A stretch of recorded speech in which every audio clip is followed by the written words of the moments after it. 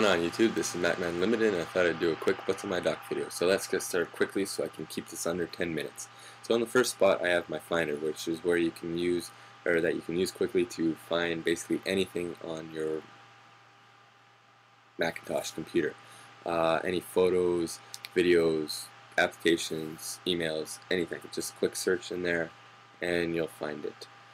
Uh, next we have your dashboard which I'll open quickly. I have my stocks application, my uh, ESPN hockey uh, RSS thing I guess feed which will give me the scores and kind of the quick news what's been going on.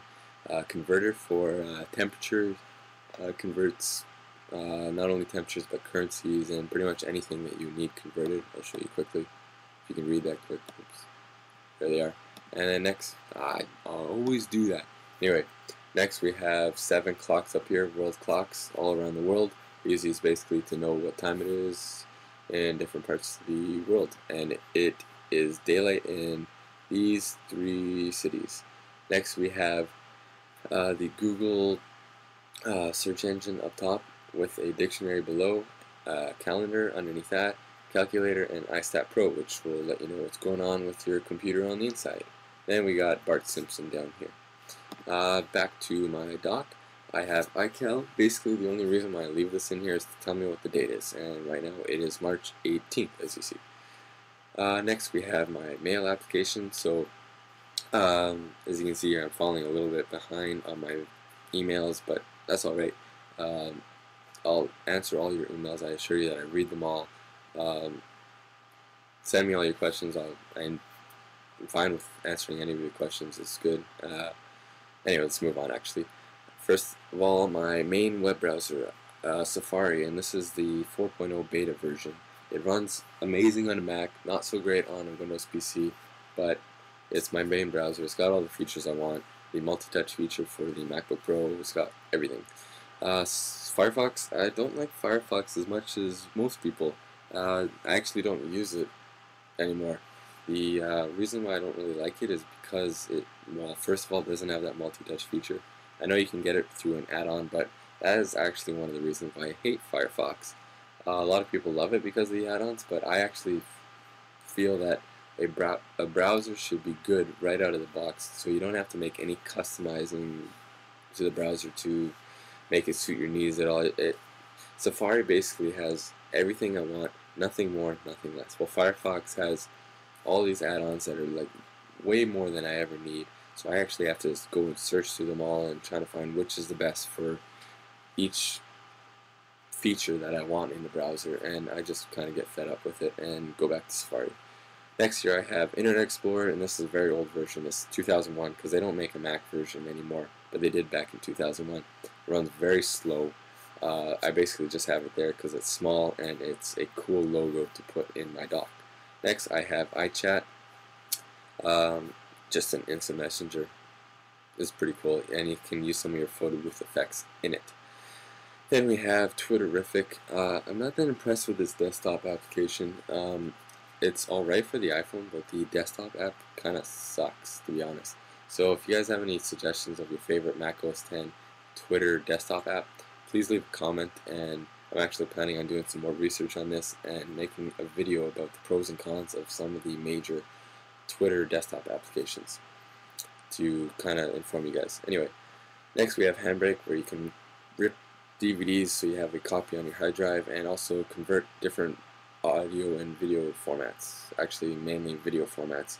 Anyway, next we have iTunes. Everyone knows what iTunes is if you're a Mac OS 10 user, Windows user, or even Linux user even though I don't think you can actually run it on Linux. Correct me if I'm wrong. I probably am wrong, but uh, they'll know what it is. Anyways, then we have QuickTime Player. I use this to watch my videos. I used to actually record YouTube videos with it, but I have switched away from it because you can't record in the 16 by 9 ratio, and maybe you can. I haven't figured it out. So, anyway, I switched to iMovie 09. So, and also a little bit of ScreenFlow, like right now. But um, I did get the iLife 09 suite. Uh, when I did buy it, I bought it a little bit later than what most of you have, uh, most of you did. So I didn't do an unboxing video, mainly because by the time I bought it, YouTube was flooded with a whole bunch of uh, iLife 09 unboxing. To be honest, it's not that not that great of an unboxing. It's just a box with a CD in it. So I didn't really see the point of unboxing it. I'm sure like many of the earlier unboxings, like when it first came out, like the first day, those were great. But then the ones that were like weeks after, I just didn't see the points in them because we all knew what was coming in. It was, we all knew that it came with uh, the iWork trial CD in it. We didn't know that when it first came out, but after the first day, we all did. So anyway, next we got iDVD. Actually, make make a quick point here. I removed iMovie HD from my dock because iMovie 09 is that great that I'm confident enough that I'll never need to use iMovie HD anymore. iMovie's got everything. Next we got, like I was saying, iDVD. This is basically a program that makes it very easy to burn your videos to DVD and have some great menus and titles to go with it. LiveType, I used this my original intro video, but as you've seen at the beginning of this video, I have changed it to a more creative intro, I guess, and I hope you guys all enjoy it. Um, it's actually not set in stone, so if you have any suggestions, I can make any changes to it quite easily, so uh, please leave a comment if you have any suggestions. Then we have ScreenFlow. I'm using that to record right now. Since I've updated it, it hasn't crashed as, crashed as much on me, so I actually may be using this quite a bit more now. Next we have CamTwist, which is to you you use it to kind of uh, make some great transitions between different um, different cameras when you're doing live streaming and stuff like that. I actually used this to record my screen when I was uh, doing a stream showing you guys how I was editing my intro video for the contest for that Soldier Knows Best held. I didn't win it, of course not, but uh, I did get an honorable me mention, I guess. So if you want to check out my video or actually check out his announcing of the winner video, right at the one minute mark, my video shows up top and center. Uh, next we have Photo Booth, just take pictures, edit them with some crazy effects, and change the background. Main features of it. Next we have GarageBand, where one of the great new features with GarageBand 09 is actually, you guys probably all know this now, but I'll mention it to the Windows users maybe. Um, you can actually buy and uh, these video lessons from actual professional musicians that will teach you how to play their songs and kind of give you kind of a quick story behind the inspiration behind that song, stuff like that. Then we have Microsoft Word and PowerPoint, kind of just basic programs to edit your text documents and PowerPoint presentations. We got Adobe here. I've got these apps, I guess, three weeks ago, and I love them. I used, uh, three weeks ago, I knew nothing about these two apps. Basically, I used Photoshop a little bit, but uh, I went to videocopilot.com and they tell me everything I know about After Effects. I don't know that much yet, but I actually am, am amazed how quickly I learned using their tutorials. So if you guys are interested in that, check it out. Next we have Maya, which is a 3D animation software, and this is a personal learning edition, so you can download this for free off the Autodesk website. So if you guys want to check that out, especially if you're interested in 3D animation, and you can check out a lot of tutorials online on how to use it as well.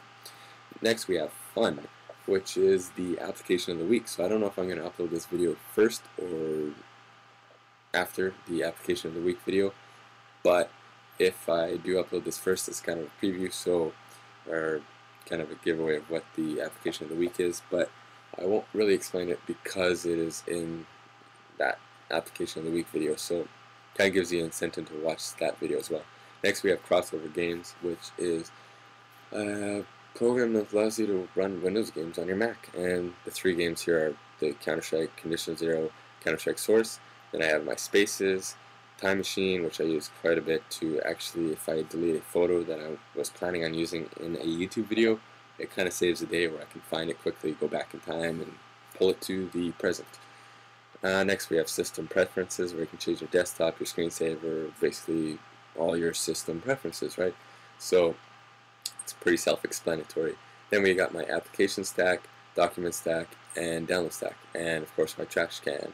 So yeah, this has been a really quick video by MacMan Limited. I hope you enjoyed. If you don't, if this is your first time watching me, or if you have seen a few of my videos but haven't done so already, click the yellow button in the on your right hand side to subscribe to my videos and uh, I will be holding another giveaway once I reach 250 subscribers so you may want to subscribe to get into that contest. So I'll see you guys in my next video. Bye bye. Macintosh computer. Uh, any photos, videos, applications, emails, anything. Just click search in there and you'll find it. Uh, next we have your dashboard which I'll open quickly. I have my stocks application, my uh, ESPN hockey uh, RSS thing I guess feed which will give me the scores and kind of the quick news what's been going on. Uh, converter for uh, temperature uh, converts not only temperatures but currencies and pretty much anything that you need converted. I'll show you quickly you can read that quick. Oops. There they are. And then next, I always do that. Anyway, next we have seven clocks up here, world clocks all around the world. Easy is basically to know what time it is in different parts of the world. And it is daylight in these three cities. Next we have uh, the Google uh, search engine up top with a dictionary below, uh, calendar underneath that, calculator, and iStat Pro, which will let you know what's going on with your computer on the inside. Then we got Bart Simpson down.